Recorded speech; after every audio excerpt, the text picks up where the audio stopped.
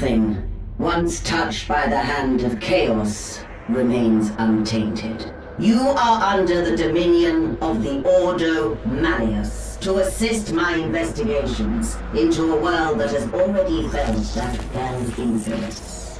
Graia has been under the close watch of the Inquisition since the Grim Skull War. The Forge world remains largely secure, but we have picked up concerning energy readings in the surrounding system.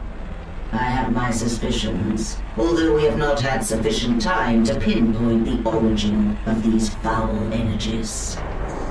While most of the planet remains unaffected, it is my belief that rogue elements within the Adeptus Mechanicus may have been experimenting with a surviving fragment of Inquisitor Drogan's power source.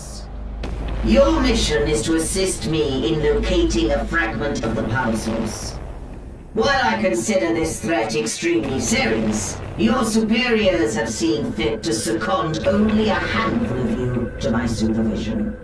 In the absence of a larger force, we should pray to the Emperor that this does not develop into a more dire situation.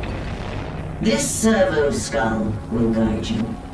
In Commodus here is one of the few sanctified and preserved from the purging of Drogan's heretical archives. Together, you will search sites where communication has become sporadic.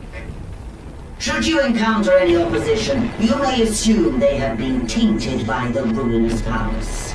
Suffer not the heretic to live. While I continue my investigations aboard the Crown, you will be deployed to a habitation zone we lost contact with several cycles ago. You should assume the situation to be extremely hostile. Beware, we do not know how far the taint of the arch-enemy spreads.